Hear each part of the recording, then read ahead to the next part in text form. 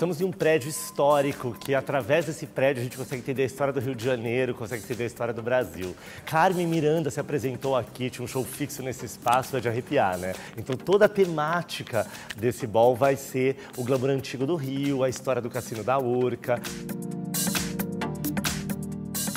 A House of Extravaganza no Brasil é uma casa de força, um lugar de um espaço de evento, mas voltado para a resistência da comunidade LGBT. Na BOL a gente tem as categorias separadas por grupos. Assim.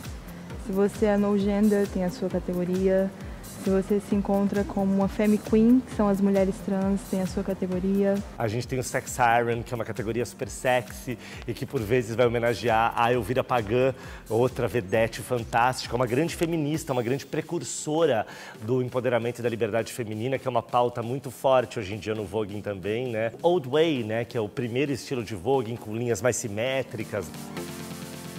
Fico muito feliz que a Ed nos apoiou nessa iniciativa. É nosso papel apoiar movimentos culturais, movimentos de contracultura, criar espaços de protagonismo para quem não os tem. O Vogue é um lugar de se encontrar, é um lugar de conquista.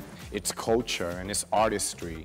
And more than anything, I think it, it's, it's human. Está sendo uma grande celebração é, cultural, artística, humana. A lot of these kids don't have the means to, to be in the arts. É muito emocionante assim conseguir trazer essa realidade para muita gente que não tem não tem condição mesmo de, de pensar que isso pode ser uma possibilidade de vida, porque a gente entende a arte no Brasil de uma forma muito diferente. Que linda essa, esse sincretismo, essa mistura, essa miscelânea cultural é, que eu acho que está ainda ainda mais riqueza para esse evento de hoje.